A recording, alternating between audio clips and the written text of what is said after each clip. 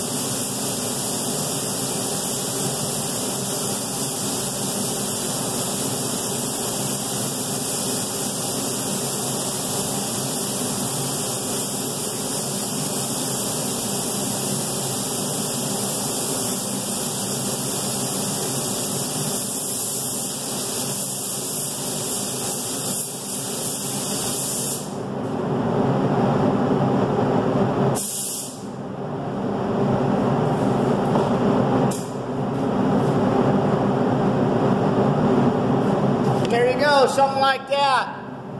Have a nice day.